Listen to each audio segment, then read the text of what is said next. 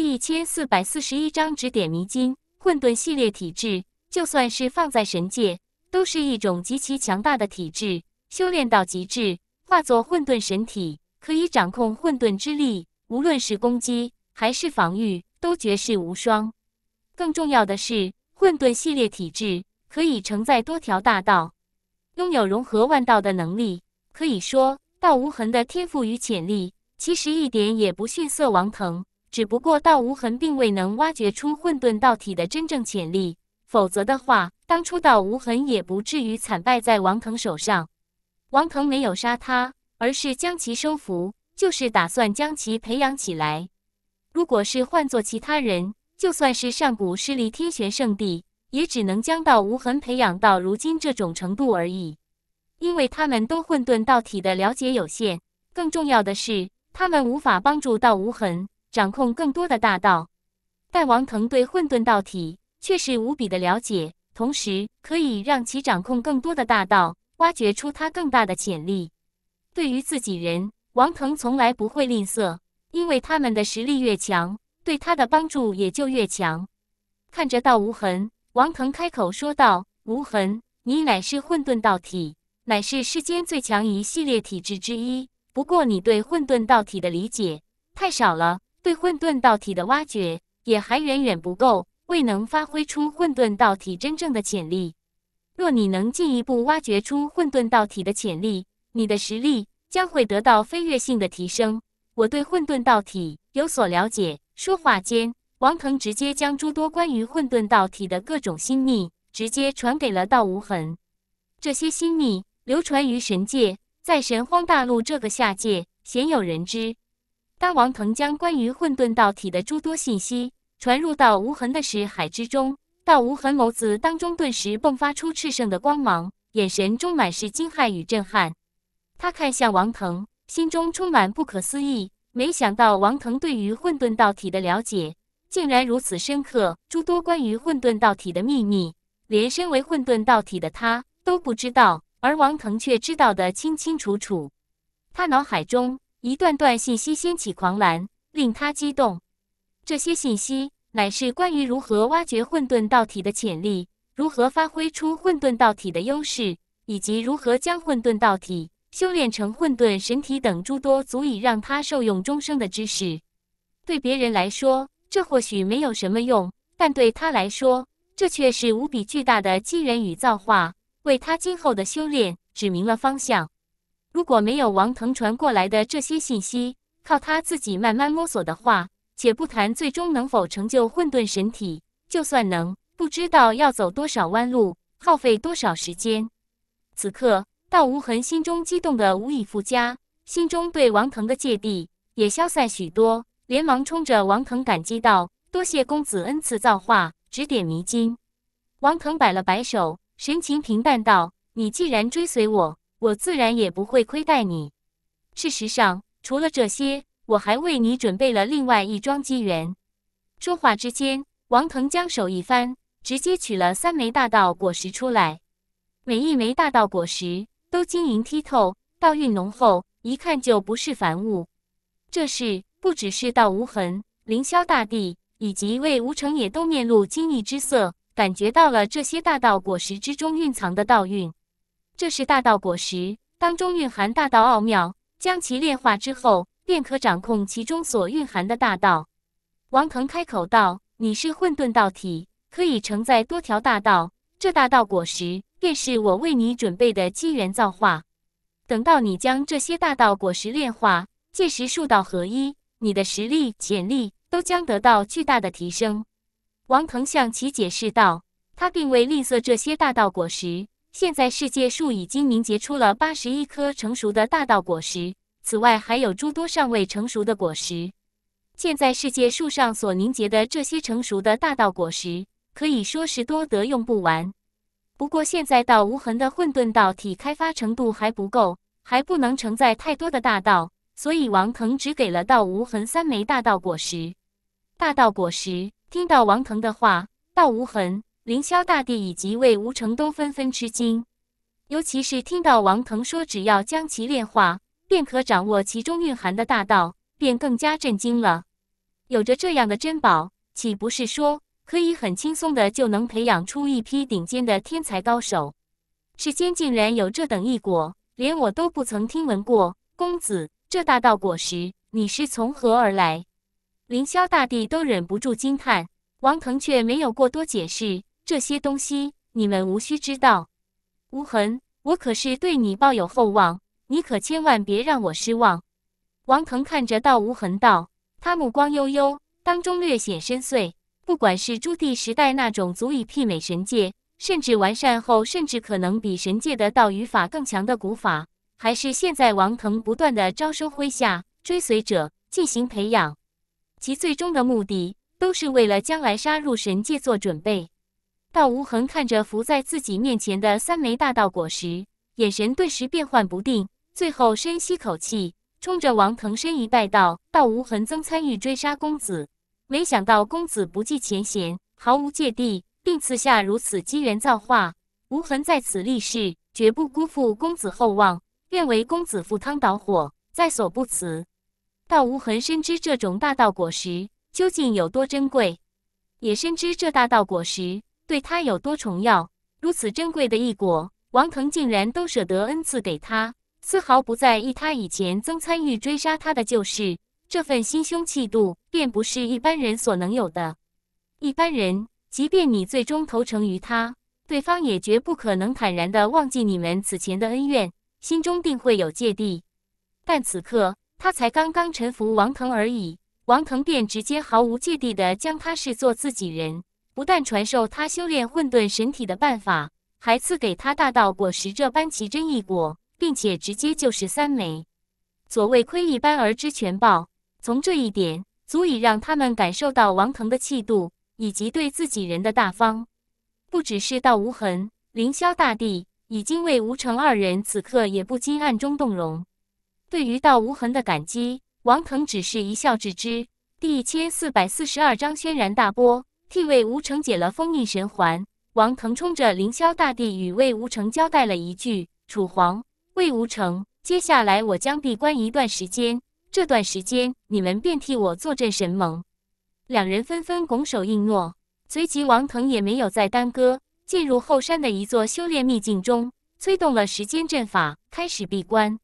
一块块神经，一株株顶尖的圣药，甚至还有神药，还有无数其他的各种顶级修炼资源，根本数不清。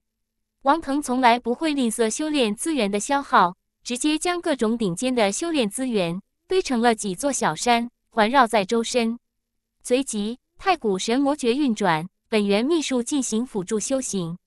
顿时之间，时间阵法中立即就掀起了一股股强烈的灵机风暴。天地灵金狂涌，发疯一般朝着王腾的身体之中汹涌而去。王腾盘坐在风暴的中心，全身的每一个毛孔都舒张开来，浮现出一个个漩涡，疯狂地吞噬着那浓厚且精纯无比的灵气精华。其体内十二条经脉发光，以极其恐怖的速度，迅速地转化着吞噬进入身体中的那些灵气，将其凝练转化成法力，一遍一遍流淌全身。进行精炼，最终才归入法力海中。他的修为也开始缓缓提升着，同时赤鳞龙蛇与先天之龙也跟随着王腾一并闭关修行，两者皆通体晶莹，身上浮现出一道道瑰美的清辉，吞噬炼化着各种顶级修炼资源，冲击准地境界。东陵山也随着王腾等人的相继闭关而平静了许多，而外界。此刻却是已经彻底沸腾了起来。凌霄大帝与王腾同境界一战，败于王腾之手，最终臣服王腾，成为王腾追随者的消息，犹如飓风一般，迅速席卷了整个东荒。这个消息犹如惊雷一般，令所有人震惊。这怎么可能？凌霄大帝早已正得大道果位，底蕴深不可测，即便是同境界一战，也当纵横无敌于天下，怎么会败在王腾手中？荒谬，太荒谬了！是谁这么大的胆子，竟然敢传大帝的谣？凌霄大帝堂堂大帝境界的强者，威压八方，岂会追随他人？而且还是一个初入至圣境界的小辈修士，简直不知所谓。当消息刚刚传开的时候，不少人都感到荒谬，认为是谣言。堂堂地道强者，屹立当世武道之巅的存在，又岂会追随他人？而且还是追随一个不过至圣初期的小辈修士，这简直就是天方夜谭。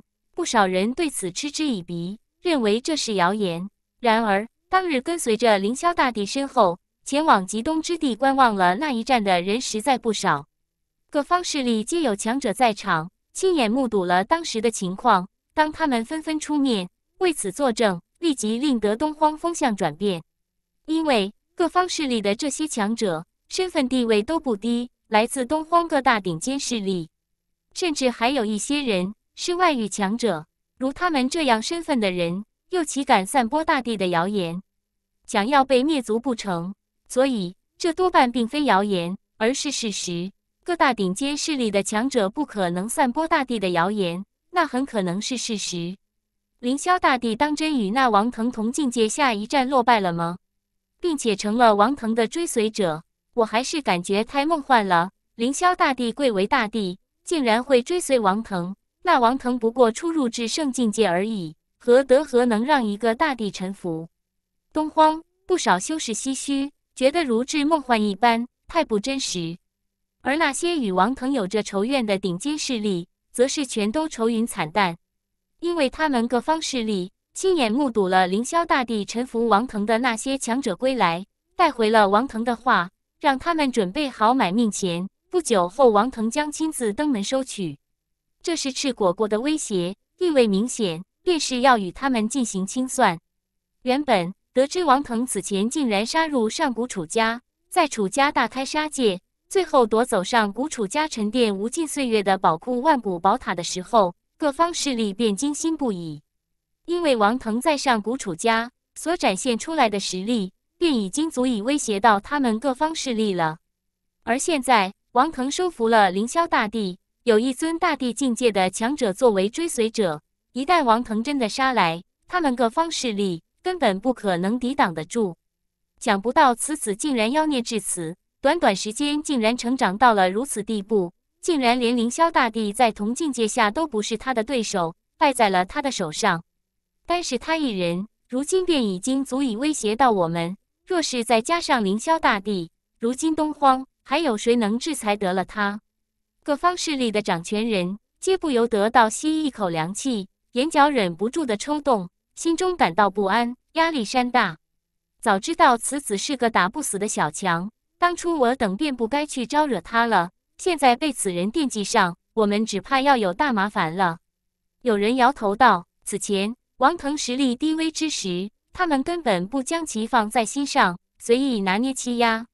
但此一时彼一时，现在的王腾已然今非昔比，不但自身实力大涨，可以纵横准地境界，连上古楚家都被他攻破，强行夺走万古宝塔。如今还有凌霄大帝追随，现在的他已经不是他们可以拿捏的软柿子了。跟他有仇怨的，可不只是我们这些人，上古齐家以及天玄圣地。同样与之恩怨不浅。王腾此前已然与楚家清算，按照此子睚眦必报的性子，必定不会放过上古齐家与天玄圣地。若上古齐家与天玄圣地这两大上古势力能够联手，未必压制不住那王腾。有人沉吟道：“上古齐家与天玄圣地这两大上古势力，都有大帝境界的强者坐镇。若是两地联手，即便是王腾现在有凌霄大帝追随左右。”也不可能挡得住两位大帝联手。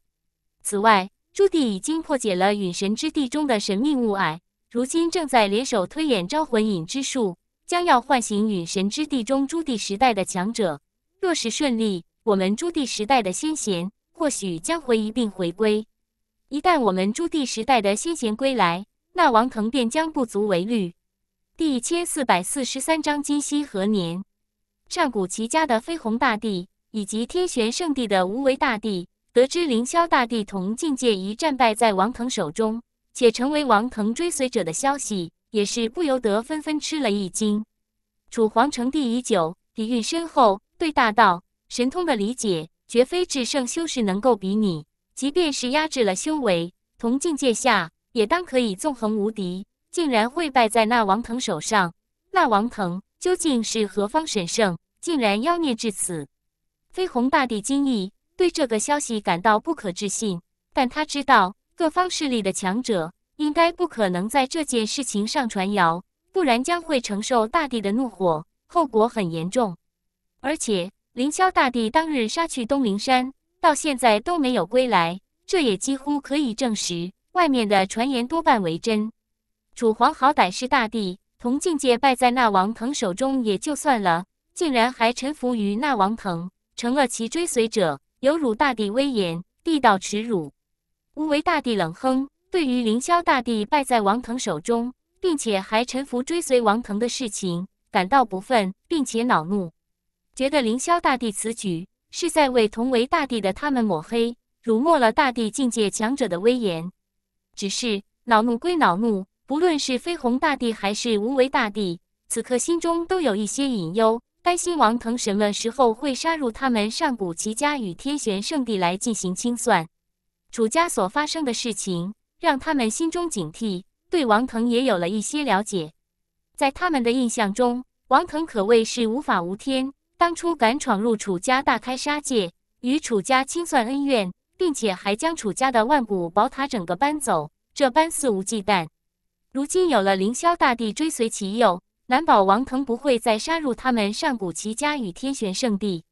而上古楚家得知自家大帝前去追击王腾，最终不但没能追回宝库，反而还成了王腾的追随者。楚家家主楚天歌以及楚家残存的一干长老，顿时纷纷两眼一黑，差点一头昏倒过去。怎么会这样？怎么会这样？大帝啊，你大帝之躯！怎能臣服于人啊！楚天歌悲呼，最终急火攻心，噗的喷出一大口鲜血。这一次，楚家可谓是赔了夫人又折兵，彻底栽了。家主，家主！楚家众长老顿时纷纷惊呼：“王腾，王腾！当初我楚家为何要去招惹他啊？”楚天歌脸色苍白，此刻忍不住发出这样的悲呼。陨神之地，诸地强者得知消息后。也都不禁动容，不少人冷笑着摇头。楚皇还真是越活越回去了，堂堂一代大帝，竟然连一个小辈蝼蚁都镇压不住，反而沦落成其追随者。楚皇此举的确出人意料，不过那王腾道也引人侧目。小小年纪便有如此成就，连楚皇都栽在他的手上，此子不简单啊！有大帝沉吟道：“虽然吃惊凌霄大帝竟然会沦落成王腾的追随者。”但更让其动容与在意的，却是王腾。年纪轻轻就有至圣境界的修为，并且有如此手段，令楚皇都栽在其手中。如此人物，实在非同小可，便是他们都不容忽视。哪怕王腾现在在他们面前修为低微了一些，但是却也不容忽视，进入了他们的视线之中。不错，那王腾能够令楚皇臣服，的确值得留意。此子如今不过至圣修为，就有如此手段，可谓潜力无穷，天资无双。有大帝附和道：“天资高又能如何？能比得过朱棣时代的天才吗？”那此前嘲笑楚皇的红叶大帝冷笑道：“等到我们此番成功接引回朱棣时代的生灵，令朱棣时代再现，当时的这些天才在他们面前，又算得了什么？”时间如梭，一晃便是三个月的时间过去了。这三个月中，东荒关于凌霄大帝臣服王腾所掀起的风波已经渐渐平息，但却有新的风波出现。各大域越来越多的强者因此涌入东荒，因为陨神之地中传出消息，朱棣联手推演招魂引之术已经趋于完善，并且已经有大帝进入陨神之地，拘拿了一些朱棣时代的生灵，以招魂引之术成功唤醒了其迷失的神智。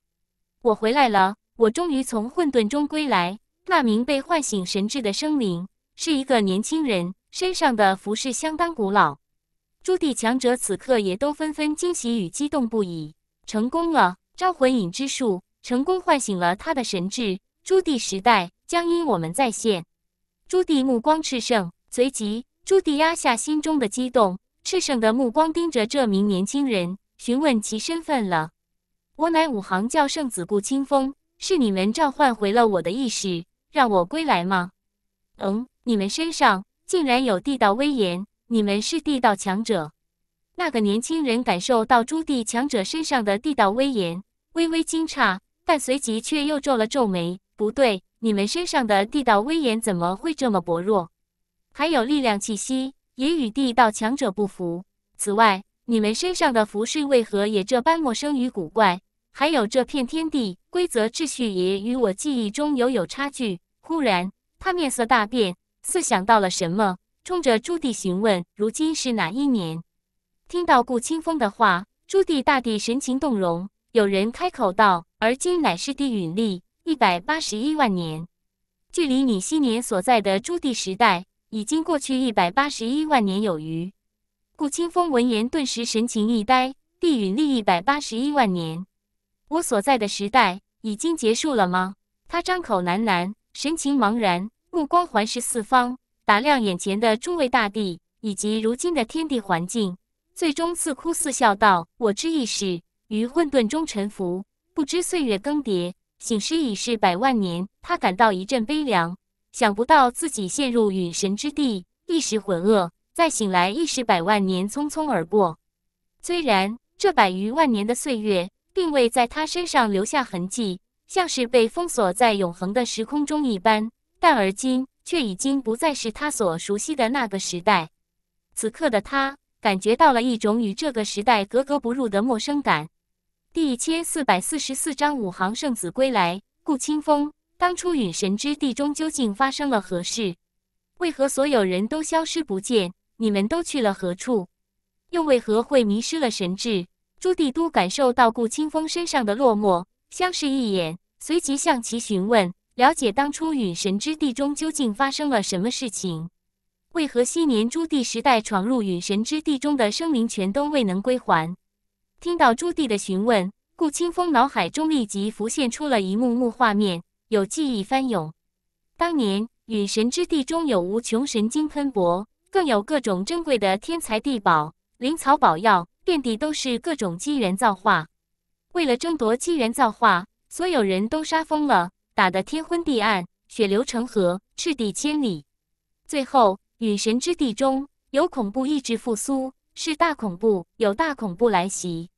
顾清风脑海中当年的记忆翻涌，各种恐怖的画面浮现，他的语气渐渐变得激动。朱棣从他的双眼之中看到了惊恐之色。什么样的大恐怖？朱棣神情凝重，进行追问。因为他们接下来或许将深入陨神之地，要全面唤醒朱棣时代的生灵。希望此刻能够对陨神之地更多一些了解，以免届时触动其中禁忌。顾清风情绪激动，我不知道，没有人可以看到他们的真面目，只有强大的意识席卷了整个陨神之地，有许多人承受不住那恐怖的意识压迫，生死魂消。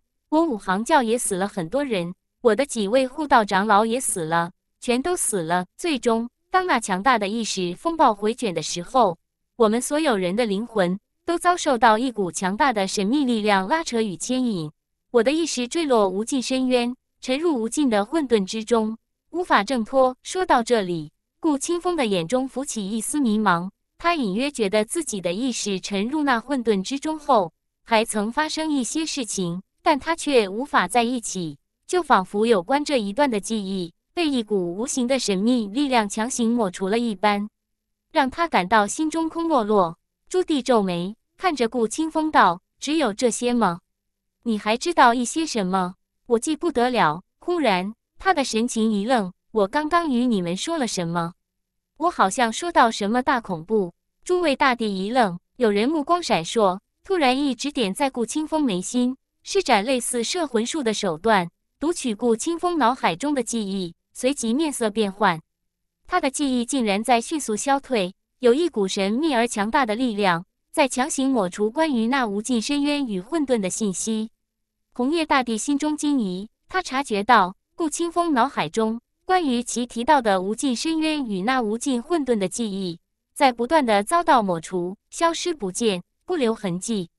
其他那些大帝闻言也都吃惊，纷纷出手，最终了解到同样的情况，这令他们神情动容。心中感到惊悚，这很诡异。他们根本没有察觉到有任何力量渗透，但顾清风的记忆竟然在被快速斩断，最终有关陨神之地中那道恐怖意志降临，席卷整个陨神之地，以及之后的所有记忆全都消失，成为空白。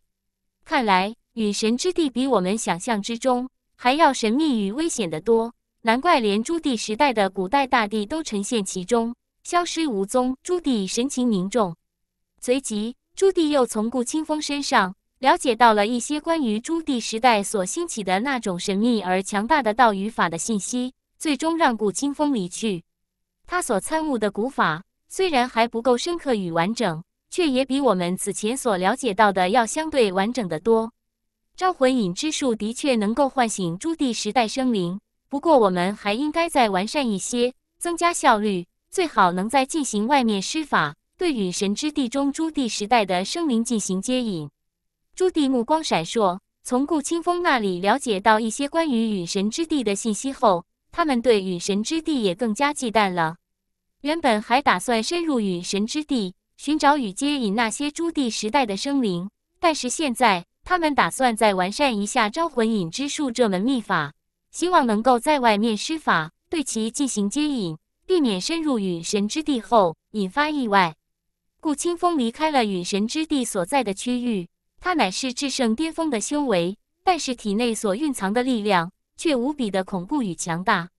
随着他恢复神智，从陨神之的走出，其所在虚空天地规则与秩序涌动，与他所掌握的古之规则秩序碰撞，最终被其同化融合。行动之间有各种异象浮现，良久方才平息。近两百万年岁月，天地之间的规则秩序。都已经发生了这样巨大的变化吗？变得如此脆弱？顾清风喃喃：“天地规则、环境变化与一个时代的更迭有着很大的关系，因为天地之间的规则秩序，其实与当时所流行的道语法也有着一些不可忽略的联系。所盛行的道语法越强，那么天地之间的规则秩序也就会越强。就拿神界与凡间界来说。”神界所盛行的神之道法，远远强于凡间界，所以神界的天地规则秩序，也远非凡间界的天地规则秩序所能比拟。虚空更加稳定，不容易破坏。此刻，顾清风便清楚地感觉到，而今这神荒大陆的虚空，远远不如朱棣时代那样坚固，天地规则与秩序也相对薄弱，不如昔年强大。这是道语法没落的直接表现。难怪那几尊大帝的气息与我印象中的大帝相去甚远，徒有薄弱地位，力量层次却远不及我曾经所在那个时代的地道强者。顾清风喃喃自语。就在顾清风沉吟之间，远处忽然有一道道神虹激射而来，落到顾清风面前，所有人都神情激动。五行教第一千三百代教主律众长老恭迎古圣子归来，来人。赫然是五行教一众高层，五行教当代教主亲自带着诸位长老，从中州远赴东荒，赶来迎接顾清风。原来我五行教还有传承未曾断绝吗？顾清风目光落在眼前五行教的众人身上，可惜都不曾掌握呼吸法，修为虽然不错，但力量层次却是弱了一些。呼吸法，这是他的那个时代对那门强大的法的叫法。当时则是称呼其为古法，亦或者古之规则秩序。第一千四百四十五章古法之威，五行教朱棣时代的最后一位圣子顾清风的归来，立即震动整个东荒，甚至是神荒大陆。他的回归意味着朱棣时代或许将在不久的将来彻底降临。各方势力都开始布置手段，无数势力涌入东荒，准备迎接朱棣时代的先贤回归。朱棣时代之后，这一世竟然已经没落至此吗？呼吸法几乎彻底消失，只剩下零星的碎片。当时修士所修行的道与法，未免太薄弱。顾清风摇头，发现当代修士所掌握的力量实在太弱，与境界严重不符。在顾清风回归后，有不少来自青龙殿的地榜天骄现身，向顾清风进行挑战，想要掂量这个朱棣时代的天骄。是否真如古籍记载之中那般强大？你们太弱了，不是我的对手。面对眼前几名来自青龙殿的地榜天骄，顾清风并没有与他们大战的兴趣。尚未交手，他已经感受到了对方身上的力量波动。传说朱棣时代有一种神秘的道语法，乃是朱棣时代辉煌的根本。我们想要看看这传说中的道语法是否真有那么厉害，还请顾道友不要让我们失望。地榜排名第一的天骄许川客开口道，眼中有强烈的战意。其他那些天骄也都是地榜上排名前列的存在，这些天骄也都眼神热切，觊觎顾清风所掌握的古法。好吧。既然如此，你们一起上吧。”顾清风语气平静道，“我也想要看看当时天骄究竟弱到何等层次。”曲川客等人皆为当世奇才，位列地榜之首。虽然这地榜或许有些水分，例如天玄圣地雪藏的道子道无痕，上古奇家的齐少渊，因为此前一直潜藏不出，便并未被列入榜中。但论资质、天赋、潜力、实力，他们绝对有资格登榜，并且在榜中占据不低的排名。如许川客等地榜中的天才，自然都心有傲气。听到顾清风如此轻蔑的话语，许川客等人不由神情一凝。但没有人敢小觑顾清风。关于朱棣时代的传闻，他们的了解也不少，不敢大意。既然如此，那便得罪了。众人纷纷沉喝一声，同时出手镇压向顾清风。顾清风神情淡然，见许川客等人杀来，只翻手之间，有强大的古之规则秩序涌动，强横的力量覆压而下。轰！噗！啊！在顾清风翻手之间，许川客等人的诸般道法神通，统统溃灭于无形。强横的力量碾压在他们身上，将他们统统扫得横飞。若非最后关头，顾清风手下留情，这些地榜中的天才。或许便在这一个照面之间，形神俱灭。你们太弱了。顾清风收手，看着横飞出去的许川客等人，眉头微蹙，语气之中带着几分叹息与落寞。这便是当世最强的天才吗？未免太叫人失望。顾清风眼神之中充满失望之色，感到寂寥。他刚刚出世，从陨神之地归来，却发现醒来已是百万余年匆匆而过。如今的他。所面对的一切都感到陌生，举世之间，甚至或许连一个敌手都无法找到。这种落寞，没有人可以体会。古法，这就是朱棣时代的古法吗？竟然强大至此！曲川客等人在远处稳住了身形，口中咳血。即便顾清风后面收手，手下留情，他们已经遭受不轻的伤势。如果方才不是顾清风手下留情，他们此刻或许已经死了。顾清风摇了摇头，没有再去看他们。与五行教的众强者继续赶路，回归中州。曲川客等人看着顾清风离去的身影，想到顾清风方才的话，却是有些不忿的，冲着顾清风开口喊道：“我们并非当时年轻一代中最惊艳的天才。”顾清风微微顿步。顾清风，我们承认你很强，但当代修士。也并非你所想的那般弱小。当时同样有惊世天才，不逊色你们朱棣时代的天骄。曲川客开口说道：“顾清风那不将当时天骄放在眼里的姿态，令他心中不忿。”我是谁？顾清风诧异的回头看向许川客，开口问道：“他很希望当时真有这样一个人，可以媲美他那个时代的天才。这样一来。”若是朱棣时代其他天骄无法归来，他在这一世也不至于太寂寞。东陵山，王腾，曲川客开口道：“我记住他了。”顾清风点头，希望他真有你说的那么强。随后，顾清风与五行教的众人离去，没有再做停留。他并未立刻前往东陵山，而是默默记住了这个名字，打算先回五行教看看，了解与熟悉一番这一世的情况。再前往东陵山拜访陨神之地外，朱棣进一步完善招魂引之术。接下来的数日，陨神之地都不见动静。东陵山主峰某个秘境中，一股股浓厚的天地灵精狂涌，完全化作了一片汪洋，将王腾、赤鳞龙蛇以及先天之龙给淹没了。时间阵法中，苍茫的灵雾化作一头头圣苍龙，不断的朝着王腾的身体之中冲去。外界虽然只是过去短短的三个多月，但是时间阵法之中却是已经过去了足足九千多天。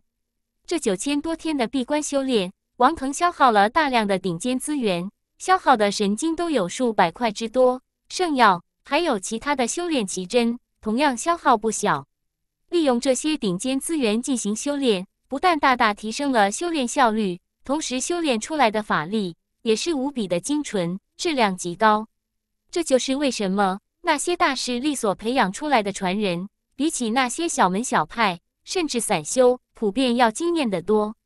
修炼意图、天赋、资质、毅力等等，自然都无比的重要。但是修炼资源同样是重中之重。就如同当初在荒土天元古国的时候，叶林等人便因为五行属性的修炼资源缺乏，导致始终无法更进一步修炼出完满的道功五脏。虽然王腾此番消耗的顶尖资源不少，但是所得到的收获也极其惊人。此刻，他的修为赫然已经达到了至圣境界后期，正在冲击着至圣巅峰。第一千四百四十六章至圣巅峰，呼啦啦。一股股浓厚的天地精气涌动，王腾体内强大的气息犹如浪潮奔涌一般，哗啦啦作响，竟然传出体外，声势浩大，震撼人心。足足持续了半个时辰，王腾体内的动静方才渐渐平息了下来。其体内法力还再次扩张，当中的法力无比的精纯，在体内涓涓而流，循环周天。他睁开双眸。一双眸子之中有璀璨的神光迸射而出，极具穿透力。至圣巅峰了，王腾脸上浮起一丝笑容。此番闭关虽然消耗了大量的顶级资源，但是修为也是突飞猛进。短短时间之中，其修为便从至圣初期一举迈入了至圣巅峰。再进一步，便是准地境界了。我的根基太扎实了，尤其是肉身，修炼太古神魔诀与不灭金身。我的肉身过于强横，导致我如今所在的修为境界所能承载的法力也更多，就连桎梏都因此加厚了。突破起来所需要耗费的力量也超越从前，更是数倍乃至十倍于寻常修士。若非如此，此番消耗如此多的顶级资源，只怕已经足以令我冲入准地境界了。王腾喃喃道：“不过，修炼根基越是扎实，底蕴越是雄厚。”未来才能走得更远。虽然我现在突破修为境界所需要消耗的力量远超常人，但是同时带给我的却是远超同境界修士的力量。王腾眸光熠熠生辉，他仔细感应了一下自己如今的力量，有着一种绝对的掌控力，感觉到了前所未有的强大。以我现在的实力，若是再遇到楚天歌那个级别的准地巅峰，就算是不动用半部至尊道器。应该也可以从容捏杀了吧？不过对上大地境界的强者，应该依旧还是有些差距，但至少也有了一点反抗之力。王腾估测了一番自己如今的实力，他现在的实力依旧还不可能硬汉得了大地级别的强者，但是至少有了一点反抗之力。就算打不过，至少不至于如以往那般面对大地级别的强者的力量压迫，一点反抗之力都没有。不知道外界现在情况怎么样了？朱棣时代的生灵是否真的被接引回来？王腾喃喃道。随后，他目光之中有精华涌动，心中有着期待，希望传说中那个神荒大陆历史上最辉煌璀璨的时代，真的可以在这一世重现。如此，他才能感受到更多的压力，才能促使他不断的变强。没有再多想，王腾继续闭关修炼了起来。但却并非是冲击准地境界，而是开始参悟万古宝塔之中朱棣时代的珍宝上所残留的那些古法碎片。不久前，他才从大圣巅峰晋升到了至圣初期，而今又在这短短时间之中，从至圣初期一举迈入至圣巅峰境界，距离准帝都只有一步之遥。这样的突破实在太过迅猛。王腾有着不小的野心，希望将每一个境界。都修炼到极致，打下一个无比坚实的基础，避免对今后的修行路埋下任何的隐患。所以，突破到至圣巅峰后，王腾便停了下来，打算巩固与沉淀一段时间，以免突破太过迅速，导致境界不稳，修为虚浮。毕竟，他的目标可不仅仅只是准地境界，不能为了贪一时之快而动摇根本。朱棣时代的古法，王腾将万古宝塔之中所有的朱棣时代的珍宝统统取了出来，并且他将朱雀分身以及真龙分身也都一起放了出来，三者一起进行参悟。值得一提的是，在王腾闭关冲击至圣巅峰的这段时间，修罗剑的第五重封印神环也已经被朱雀分身与真龙分身联手破解。如今的修罗剑威势大增，已经可以媲美至尊道器。再加上修罗剑此前吞噬了大量的强者精血，已经积累了无比强大的力量。若是全面爆发，或许足以暂时冲开第六重封印。冲开第六重封印神环的修罗剑，绝对恐怖无比，正面斩杀大帝，或许都未必做不到。要知道，当初荒土大劫的时候。王腾便是借助冲开第七重封印神环的修罗剑，斩杀了上苍。那上苍的实力绝对超越了的当时的这些地道强者，所以王腾估计，冲开第六重封印神环的修罗剑，多半可以威胁到大地境界的强者。只不过，强行冲开封印神环，无法维持很长时间。当其从吞噬的强者精血中所吸收的力量被消耗掉后，封印神环便将重新将其束缚禁锢于身，这只能算是一个底牌。真正想要解放修罗剑更强的力量，依旧得通过参悟修罗剑上的封印神环中蕴含的玄妙，对其进行破解，如此才能将其封印神环彻底解除，释放出修罗剑真正的威能。不过第六重封印神环玄妙无比，其破解难度比起第五重都直线上升。朱雀分身与真龙分身一起在时间阵法中钻研了不少时间，却依旧无甚头绪。所以此刻，王腾干脆让朱雀分身与真龙分身暂时放下了对修罗剑第六重封印神环的参悟，而是让他们与自己一起参悟这些朱棣时代遗留下来的珍宝中所蕴含的古法碎片。青年领域开启，那些珍宝之中所蕴含的诸多关于古法的符文碎片，顿时无所遁形。纷纷清晰浮现在王腾的视线之中。王腾的道心修为已经达到四重天巅峰，智慧通玄，加上朱雀分身与真龙分身辅助参悟，效率绝对恐怖。没有耗费多少时间，王腾与朱雀分身以及真龙分身便从那些朱棣时代的珍宝之中所蕴含的古法碎片中参悟出了一些古法奥妙。万物呼吸法，万物皆有灵，力量亦如是。一段晦涩的奥义在王腾、朱雀分身以及真龙分身的脑海中流转，震撼着三者的心灵。王腾心中震撼，一双眸子陡然之间爆发出璀璨的金芒，犹如亿万颗星辰同耀，呼吸都不由得急促了几分。好可怕的法！这就是传说中朱棣时代所兴盛的法吗？王腾动容，那一段残缺的奥义，犹如一道惊雷，劈入脑海之中。令得他使海都为之动荡，心中更是掀起了惊涛骇浪，难以平静。第一千四百四十七章万物呼吸法，这一段残缺的法，乃是他与两大分身从面前那些朱棣时代的珍宝中所蕴藏的古法碎片中整合而来。仅此一句话，便让王腾心神震荡，感觉到了这门法的恢宏与浩大，大气磅礴。如此恢宏与浩大的法。纵然是神界都比之不上，竟然会出现在这下界，这神荒大陆究竟有多少秘密？可惜这些朱棣时代的珍宝之中所蕴含的碎片实在太少了，也太凌乱。王腾忍不住惋惜，只是整合出来的一句话，便对他的心神造成了剧烈的冲击。他心脏砰砰直跳，若是这门法真的繁衍到巅峰，恐怕真的可以凌驾于神界道法之上。此刻。他对这门朱棣时代的神秘古法兴趣愈发的浓厚。所谓窥一斑而知全豹，这一小段整合起来的片段，已然令他感觉到了这门法的恐怖。他继续整合其他的符文，万物皆有呼吸，有脉络，生灵如是，力量如是，天下借此亦如是，法力可复灵，天地灵气可有生命。从无数的碎片之中，王腾再度提取出了几句相对完整的话。当这一句句话涌入脑海，淌入心间，王腾脑海中顿时如有惊雷炸响一般，震得他心神都不由得呆住。一股无法想象的恢宏大气，仿佛要将他淹没，吞噬。同时，拥有到新四重天巅峰心境的他，悟性极高，加上朱雀分身与真龙分身一同感悟，刹那之间，三者脑海中皆有万千灵光闪烁。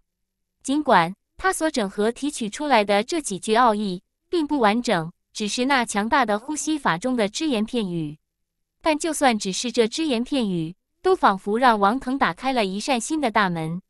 万物皆有灵，皆有生命，皆有呼吸。呼吸法，呼吸法，这“呼吸”二字指的应该是生命。拥有呼吸，便拥有生命；拥有生命，便拥有灵性。但力量真的可以拥有呼吸？拥有生命吗？王腾与朱雀分身以及真龙分身静下心沉思感悟，但是却始终不得其门。这些朱棣时代遗留的珍宝之中所蕴含的关于这门呼吸法的信息实在太少了。看来，想要真正洞悉、掌控这门呼吸法，必须得了解到关于这门法更深层次的奥义才行。仅凭我从这些珍宝中所整合出来的只言片语。根本不可能洞悉出这门法真正的核心奥义。要获得更深层次的奥义，或许只能从地路或者陨神之地中朱棣时代的那些强者手中获取了。不过，这些珍宝之中所蕴含的符文碎片，虽然残缺的厉害，但是其中也蕴含着强大的力量。或许可以尝试将其融入大道之中。王腾喃喃，随后他立即着手绽放大道。将那些符文碎片统统炼化，直接融入大道之中。当他的神火大道与不灭神道融合了这些符文碎片后，王腾明显察觉到他的这两条大道的力量明显凝练与强大了一些。只是残缺的符文碎片而已，都蕴含这样庞大的力量，这门法果真了不起。王腾深吸口气，接下来他停止了对这门法的参悟，因为信息太少。无法参悟出更多的东西来。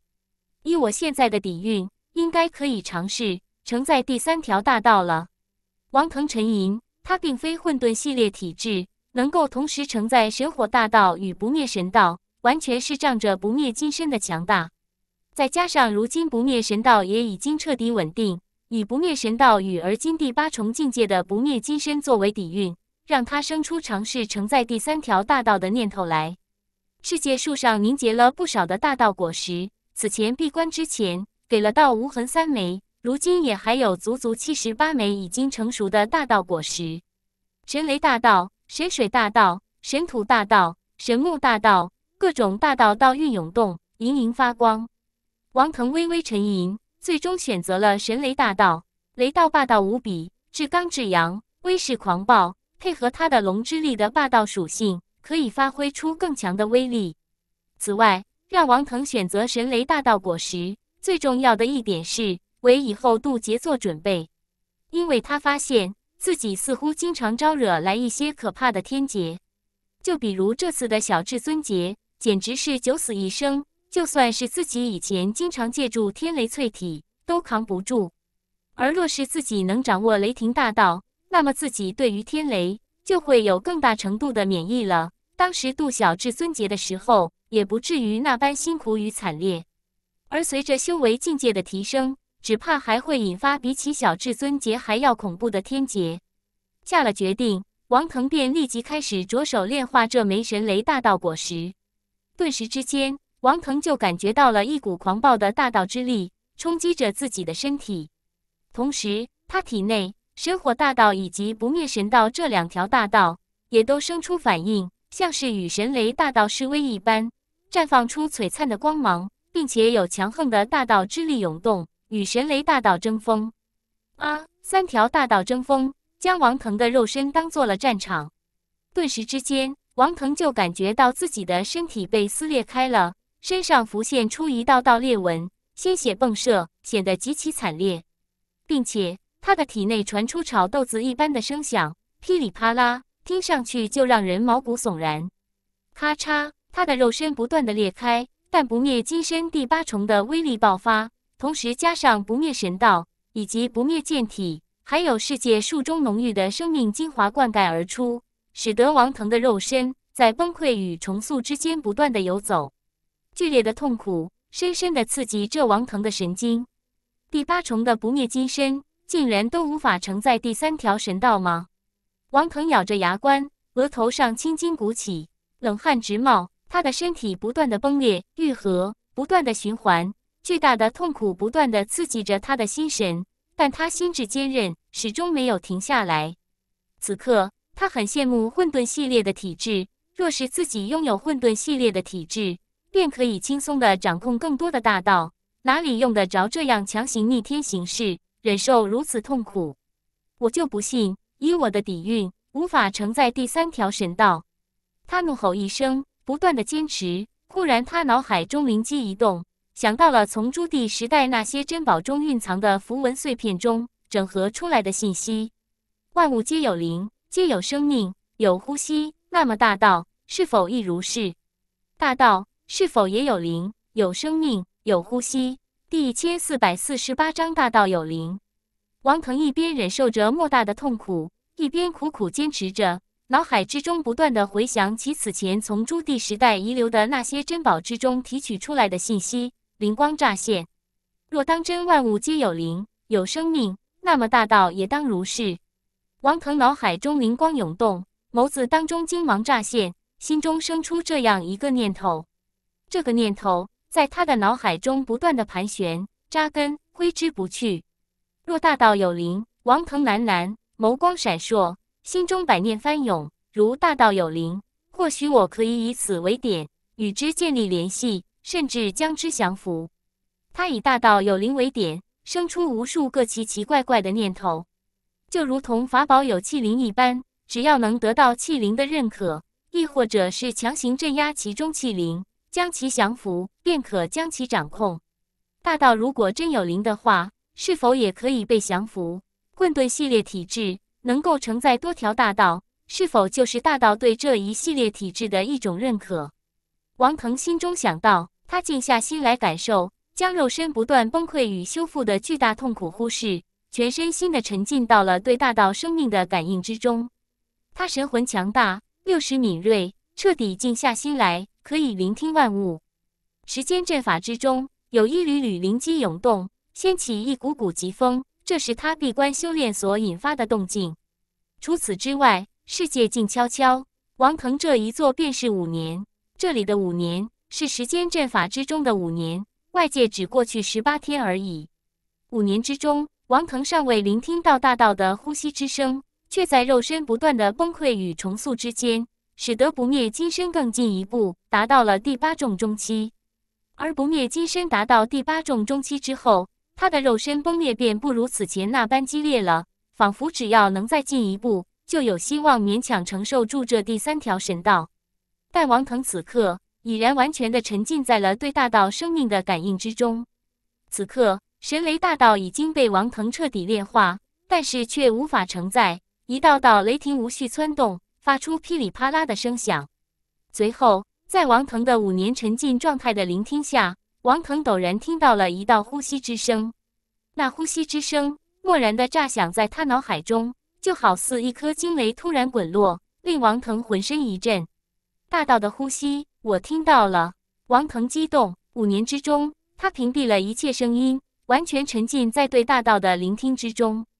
而今，他终于听到了这样一道沉闷的呼吸，就像是雷鸣。他知道，这就是他想要听到的声音。这是神雷大道的呼吸声。随后，他又听到了火焰的声音，轰的一下，像是一簇火焰突然浇上了沸腾的油，火势瞬间蹿起时的声响。那是神火大道的呼吸声。最后，他听到了不灭大道的呼吸，在他的心中响起。这就是万物呼吸法吗？王腾只觉得全身有一道道电流突然之间流遍了全身，令他全身酥麻。浑身的鸡皮疙瘩都立了起来，心中激动而震撼。万物呼吸法，我好像明白了一些。王腾道心似重天的悟性极其可怕，在聆听到大道的呼吸的瞬间，他心中立即就明白了“万物皆有灵，皆有呼吸，有生命”这句话的意义。所谓万物有灵，应该是一种主观上的观念。就像此番，我认为大道应该有灵，有生命，有呼吸。所以我静下心聆听，通过五年的时间沉淀心境，不断的坚定心中所想，所以最后我可以聆听到他们的呼吸，因为这是我所想要听到的东西。不过，这算不算是一种深层次的自我催眠？王腾突然神情古怪。既然大道有了呼吸，那大道便应该拥有生命，拥有生命便应该拥有心跳。王腾喃喃，随后继续聆听。扑通扑通，一道道沉闷的心跳声响起。果然如此，王腾蓦然睁开双目，听到了那一声声沉闷的心跳，非常有力。有生命便有灵。王腾目光闪烁，意念涌动，与那神雷大道进行沟通。在他的感应中。那神雷大道像是变成了一个可爱的精灵，他将意念传出，与神雷大道建立联系。最终，匪夷所思的，那原本无比狂暴、与王腾所承载的不灭神道以及神火大道争锋逐鹿的神雷大道，竟然安静了下来，并且神火大道与不灭神道也不再与之争锋相对。神雷大道化作一道黑色的闪电，没入王腾身体之中，其肉身。也不再崩裂，迅速愈合，成功了。王腾清楚地感应到了神雷大道的融入，感觉到了自己力量的增长。他眸光开合之间，眸子当中有一道黑色的闪电浮动，翻手之间，一道道黑色的雷霆自指尖飞出。我的神雷大道赋予我的第一道雷霆，竟然是寂灭天雷。王腾顿时惊喜，寂灭天雷毫无疑问是非常可怕的一种雷霆。比起寻常的天雷要强大的多。是了，毕竟是神级雷道所蕴含的雷霆之力，自然不可能是寻常天雷。此前小至尊劫所降下的寂灭天雷，并不蕴含大道之力，威力尚且强大无比。若是加上我的神雷大道加持，可令寂灭天雷发挥出更加恐怖的威势。掌控了神雷大道，加上我现在的底蕴。以后我应该就不用再担心天劫了吧？王腾嘟囔道：“从当初刚刚晋升到天人境，就开始历经天劫，尤其是此前晋升到至圣境界，引发了小至尊劫，险些死在那场小至尊劫中。现在有了神雷大道，即便是在遇到小至尊劫这种天劫，也可以无忧了。万物呼吸法果真是一门了不得的法，不过我现在所领悟的，应该并不全面。”只是一缕皮毛而已，不过仅仅是一缕皮毛，也让我受益无穷了，让我成功的掌控了第三条神道。就是不知道是否可以借此令我掌控更多的大道。王腾忽然想到，他的肝脏道宫中世界树上还凝结着近百颗大道果实呢。在他闭关的这段时间，世界树上又有一些大道果实成熟了，数量已经达到了九十颗。若是可以通过这种方式将这些大道果实中蕴含的大道全部掌控，自己的实力又会提升到何等境地？第一千四百四十九章准地大劫。王腾正打算尝试利用这尚不完整的万物呼吸法，掌控第四条、第五条乃至更多大道。然而就在这个时候，时间阵法之中忽然有灵机暴动，两道强大的气息绽放。吼！嘶嘶嘶！同时。先天之龙与赤鳞龙蛇同时长鸣，时间阵法中无尽的天地灵晶将他们淹没。一缕地威涌动，让王腾心中一惊，随即眸光炽盛。龙儿、赤鳞，你们都迈入准地境了。王腾目光落到先天之龙与赤鳞龙蛇身上，眼神璀璨，惊喜不已。先天之龙与赤鳞龙蛇竟然齐齐破入准地境界，这可谓是意外之喜。此番闭关，王腾自身不但突破到了至圣巅峰，还掌握了第三条大道神雷大道，不灭金身也更进一步达到第八种中期。不但如此，还参悟了一丝万物呼吸法。而此刻，先天之龙与赤鳞龙蛇竟然也相继突破，迈入准地境界，可谓是惊喜连连。吼吼吼！嘶嘶嘶！先天之龙与赤鳞龙蛇纷纷游到王腾身边，环绕着王腾。明亮的大眼睛中也充满了兴奋之色，然而随即却有一道道大劫的气息蔓延。准地大劫，秘境中有天劫的气息涌动，竟然是准地大劫。不能在秘境中渡劫，否则恐怕会令秘境崩塌。王腾惊异，随后大袖一卷，将时间阵法之中的诸多没有用完的资源统统收了起来，关闭了时间阵法，带着先天之龙与赤鳞龙蛇一起出关，冲出秘境。恭喜公子出关！嗯，公子突破到了至圣巅峰。王腾刚刚出关，凌霄大帝便立即生出感应，一步迈出，就落到王腾面前，冲着王腾拱手行了一礼。随后留意到王腾身上并未掩饰的修为气息，顿时吃了一惊，因为王腾虽然在时间阵法之中已经闭关了三十年左右，但外界不过才过了几个月的时间而已。老有人说时间不对。提醒一下，刚开始的时候，王腾冲击到至圣巅峰境界，耗时九千多天，换算成年这个单位，约等于二十五年，约等于。然后参悟万物呼吸法，掌控第三条神道，有闭关五年，加起来三十年左右。这里说的时间是阵法里的时间。凌霄大帝还并不知道时间阵法的事情，见王腾此番闭关。不过才三个多月，不到四个月的时间而已，竟然便从至圣初期晋升到了至圣巅峰，不由得吃惊不已。这样的突破速度，即便凌霄大帝是大帝境界的强者，已经活了数十万年，阅历丰富，见惯了天才，此刻也忍不住深吸一口凉气，心中震撼不已。随即，他又感应到了两缕准帝威严，也令他动容，目光一动，便注意到。环绕在王腾身边的先天之龙与赤鳞龙蛇，竟然双双晋升到了准帝境界。凌霄大帝顿时张大了嘴巴。王腾看了一眼凌霄大帝，开口说道：“先不说这些，龙儿与赤鳞突破到准帝境界，引动了准帝大劫，得找个荒僻之地渡劫，否则准帝大劫降临下来，东陵山都要毁于一旦。”随着王腾带着先天之龙与赤鳞龙蛇出现，东陵山上空。顿时之间，天翻地覆，云海翻涌，一片片厚重的劫云凝聚，大劫的气息蔓延，变得无比的压抑。准帝大劫，凌霄大帝闻言也顿时眼皮一跳。虽然以他现在的修为，自然不惧准帝大劫，但对于刚刚晋升到准帝初期的一龙一蛇而言，这准地大劫却是非常危险的大劫。极东之地最东方的炎日大漠，很适合作为渡劫之地。凌霄大帝连忙开口道：“王腾闻言没有多言，立即带着赤鳞龙蛇与先天之龙，化作一道黑色闪电，朝着炎日大漠冲去。炎日大漠，王腾并不陌生。当初初入东荒的时候，他们便是落到了炎日大漠之中。炎日大漠辽阔无垠，当中一片荒寂，一眼看去黄沙漫天，没有半点生机。王腾将渡劫点选在了这里。”如今随着实力的提升，他的速度奇快无比。尤其是掌控了第三条神道神雷大道后，化身雷霆，骤然间百万里如信步闲谈。赤鳞龙色与先天之龙盘绕在身，眨眼就消失在了东陵山。这样的速度，便是凌霄大帝都吃惊。等等，刚才公子身上涌现的，好像是雷霆之力。凌霄大帝惊异，眼神中浮起不可置信之色。从王腾身上感受到了雷道规则，而他此前与王腾同境界一战，知道王腾并未掌控雷霆大道，掌控的乃是神火大道与一条不灭神道，所以此刻凌霄大帝才会如此震惊。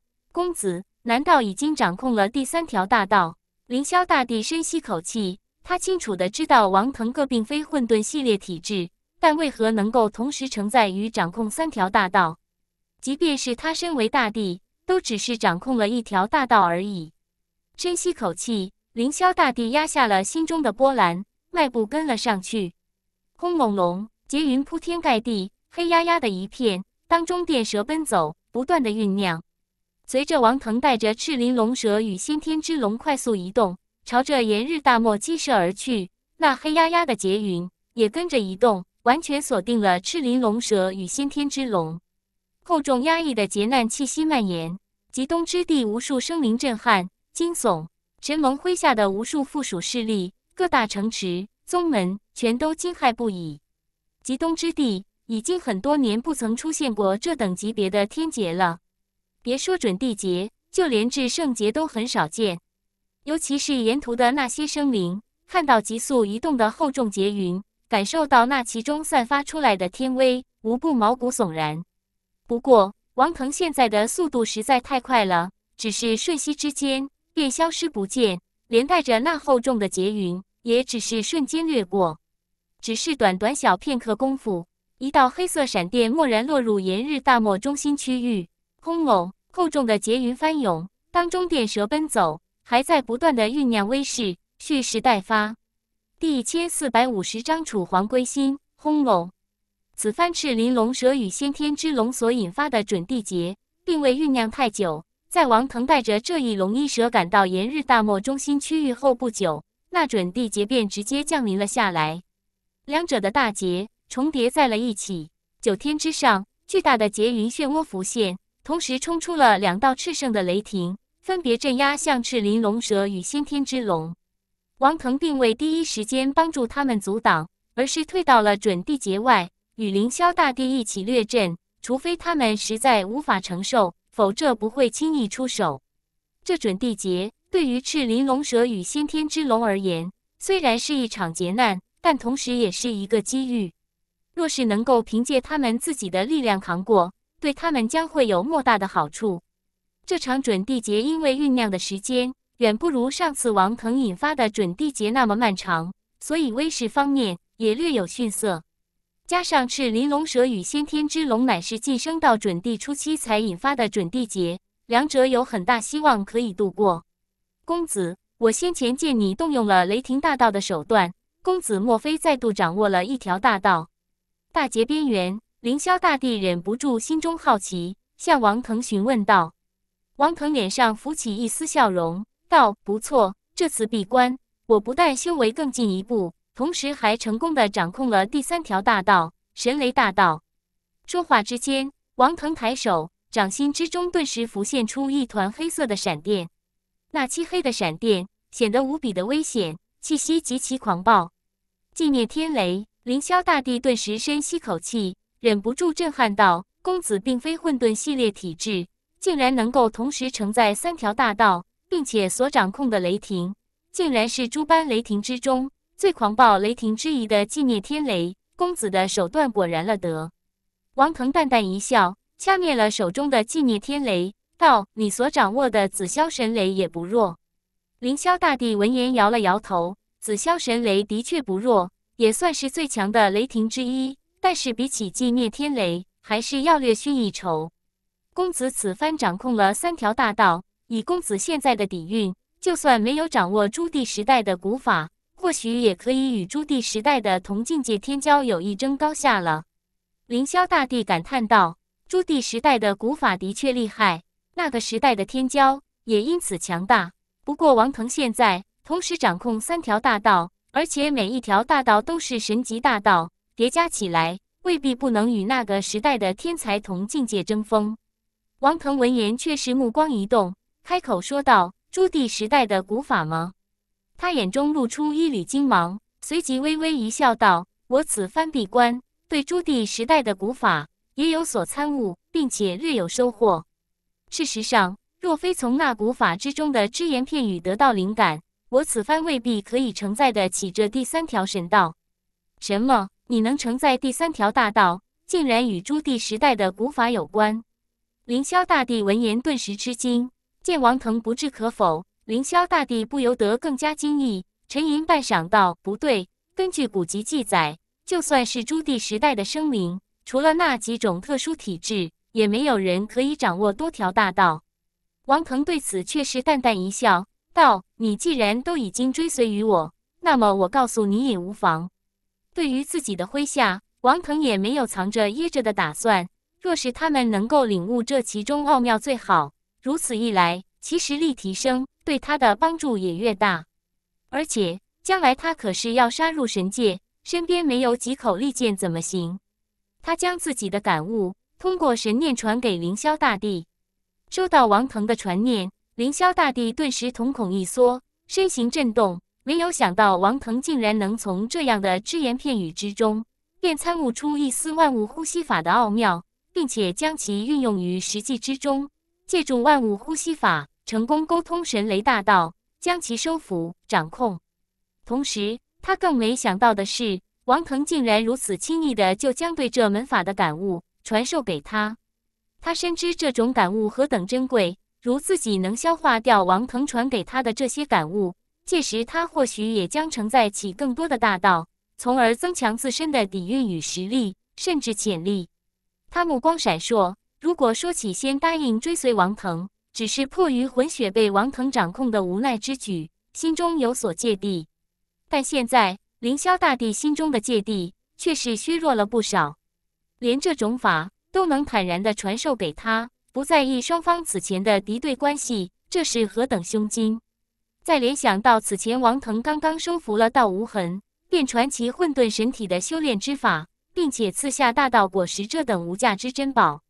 凌霄大帝不由得深吸口气，此刻他终于明白，为何王腾身边会有那么多妖孽天才，心甘情愿地追随其左右了。叶无常、叶千重、周松、铃木、金哲、唐月、云逍遥等人，无一不是绝世天才，却都生死相随。伫立半晌，凌霄大帝冲着王腾拱手，认真行了一礼：“公子高义。”不计前嫌传下如此感悟，楚皇定不负公子。王腾没想到自己不过是将对那万物呼吸法的感悟相传，凌霄大帝便如此感动，不由打趣道：“怎么？莫非你此前还打算要辜负本公子不成？”原本一脸感动的凌霄大帝顿时憋红了脸。王腾见状笑了笑，摆了摆手道：“好了，跟你开个玩笑而已。嗯，你有没有闻到什么香味？”好奇特的肉香，还透着几许芬芳。王腾的鼻子忽然嗅了嗅，一股从来不曾闻到过的、带着几分芬芳的肉香钻入口鼻之中，让王腾忍不住多吸了两口。凌霄大帝闻言忍不住汗颜，转头看向准地劫中心的翼龙一蛇。王腾也立即反应了过来，刚才与凌霄大帝闲谈，竟然忘了赤鳞龙蛇与先天之龙正在渡劫了。那肉香。赫然是从这可怜的翼龙一蛇身上飘出。先天之龙与赤鳞龙蛇所引发的这场准地劫非常强大，纵然是以二者那强悍的肉身，竟然也被劈得皮开肉绽，差点被那强大的雷霆之力烤糊了。肉香一散，让与凌霄大帝交谈的王腾不自觉口齿生津。